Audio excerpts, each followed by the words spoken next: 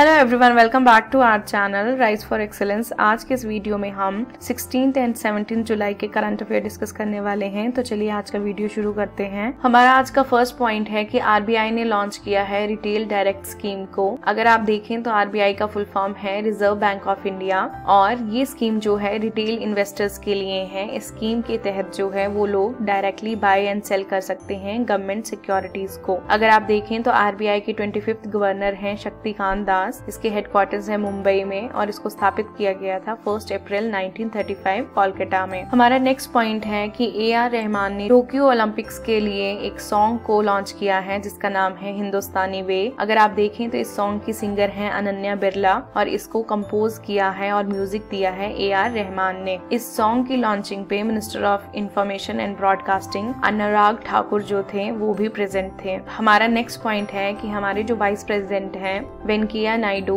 उनको जो है एक बुक दी गई है, जिसका नाम है Urdu poets and writers gems of Deccan ये जो बुक है, ये लिखी गई है senior journalist J S Iftikar के द्वारा। और अगर आप देखें तो नायडू जी ने उनके बारे में ये बोला है कि इस बुक में जो है, वो डेक्कन की कल्चर ट्रेडिशन और वहाँ के जो लिटरेचर है, उसके बारे में बताता है। हमारा नेक्स्ट पॉइंट है कि कैबिनेट ने जो है, वो अप्रूव किया है आयुष मिशन स्कीम को कंटिन्यू करने के लिए। अगर आप देखें तो प्राइम मिनिस्टर नरेंद्र मोदी ने ने जो है, इसको अप्रूवल दिया है। नेशनल आयुष मिशन जो है, एक सेंट्रली स्पॉन्सर्ड स्कीम है। और इसको अगले पाँच साल के लिए कंटिन्यू किया जाएगा। ये स्कीम जो है फ़र्स्ट अप्रैल 2021 से मार्च थर्टी फ़र्स्ट टू तक जो है लागू होगी। अगर आप देखें तो सेंटर ने इसके लिए जो पैसे एलोकेट किए हैं that is rupees four crore हमारा नेक्स्ट पॉइंट है कि इंडिया का फ़र्स्ट ग्रेन एटीएम जो है वो गुरुग्राम में खुला है। अगर आप देखें तो ये फारूक नगर में है और यहाँ पे जो है सेवेंटी किलोग्राम ग्रेन जो है वो फाइव टू सेवन मिनट्स में आप ले सकते हैं। हमारा नेक्स्ट पॉइंट है कि एनटीपीसी जो है वो इंडिया का लार्जेस्ट सोलर पावर पार्क बनाएँगे कच्छ में। कच्छ जो है वो गुजरात में है।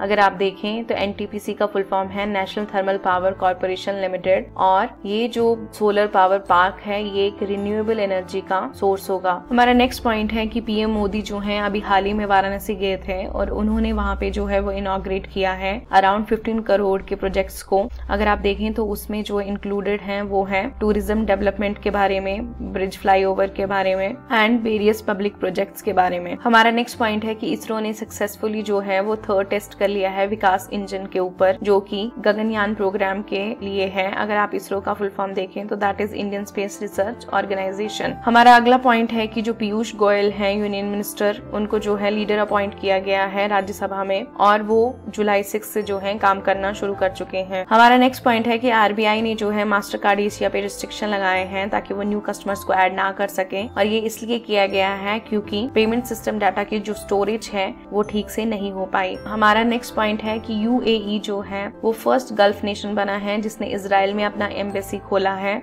अगर आप यूएई की फुल फॉर्म देखें तो that is United Arab Emirates और यहाँ पे जो है, दोनों कंट्रीज़ ने साइन किया है इस एग्रीमेंट को। अगर आप देखें तो ये जो न्यू मिशन है, इसका लोकेशन है Tel Aviv stock exchange building और ये जो सेरेमनी है, ये अटेंडेड की गई by new Israeli president Isaac Herzog हमारा नेक्स्ट पॉइंट है कि national award winning actress Surekha Sikri जो है, उनका हाल ही में अभी निधन हुआ है। अगर आप देखें तो उनको तीन बार जो है, वो नेशनल अवार्ड मिला था। और लास्ट बार जो है नेटफ्लिक्स पे देखा गया था। घोस्ट स्टोरीज पे। हमारा नेक्स्ट पॉइंट है कि जो राजनाथ सिंह हैं, हमारे रक्षा मंत्री, उन्होंने एक ऐप को लॉन्च किया है, जो कि artificial intelligence based grievance analysis app है, और इस ऐप का नाम है C G R A M S अगर आप इसका फुल फॉर्म देखें तो that is centralised public grievance redress and monitoring system ये ऐप इसलिए लॉन्च की गई है ताकि जो लोगों की कंप्लेंट्स हैं, उनको अच्छे से एनालाइज किया जा सके और ऑटोमेटिकली हैंडल किया जा सके। इससे क्या होगा कि जो टाइम है, वो भी बचेगा और चीज़ों में ट्रांसपेरेंसी भी आएगी। जाएगी हमारा नेक्स्ट पॉइंट है कि अदानी ग्रुप ने मुंबई एयरपोर्ट मैनेजमेंट को टेक ओवर कर लिया है। अगर आप देखें तो अभी अदानी एयरपोर्ट होल्डिंग्स जो है, उनके पास कंट्रोल होगा over 33 percent of India air cargo traffic अगर आप अदानी ग्रुप के बारे में देखें तो ये एक इंडियन मल्टीनेशनल कॉन्ग्लोमरेट है। कॉन्ग्लोमरेट का मतलब होता है कि जिनके डिफरेंट बिज़नेस हैं और इसके हेडक्वार्टर्स अहमदाबाद में है। इनके जो फाउंडर हैं दैट इज़ गौतम अदानी, और इसको स्थापित किया गया था 20 जुलाई 1988 को। इसकी अगर आप सब्सिडरी सेंचुरीज देखें तो that is Adani power Adani ports and more और इसका जो पेरेंट ऑर्गेनाइजेशन है that is S P Adani family trust हमारा आज का लास्ट पॉइंट है कि बाबर अजाम जो है, वो फास्टेस्ट बैट्समैन बन गए हैं, जिन्होंने स्कोर किया है 14 ओडीआई सेंचुरीज को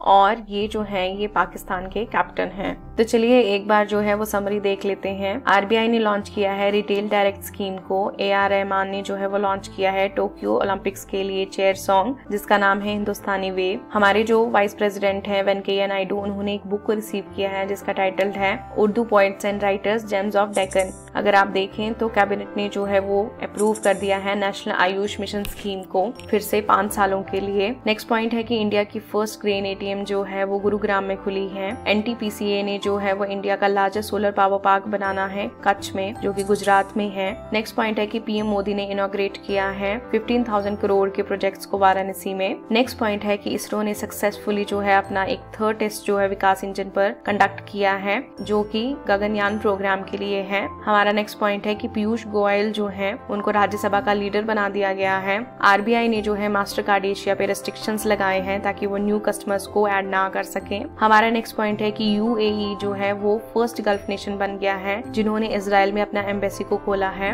Next point national award winning actress जो है सुरेखा सिकरी उनका निधन हो गया है। हमारा नेक्स्ट पॉइंट है कि राजनाथ सिंह जो है, उन्होंने लॉन्च किया है artificial intelligence based grievance analysis app को जिसका नाम है C P G R M S and Adani group जो है, उन्होंने मुंबई एयरपोर्ट मैनेजमेंट को टेक ओवर कर लिया है। और हमारा आज का लास्ट पॉइंट है कि बाबर अजाम जो है, वो फास्टेस्ट बैट्समैन बन गए हैं, जिन्होंने स्कोर किया है 14 ओडीआई सेंचुरीज को। तो हमारे आज के वीडियो में इतना ही। अगर आपको ये वीडियो हेल्पफुल लगा हो तो हमारे चैनल को सब्सक्राइब एंड शेयर करें। Thank you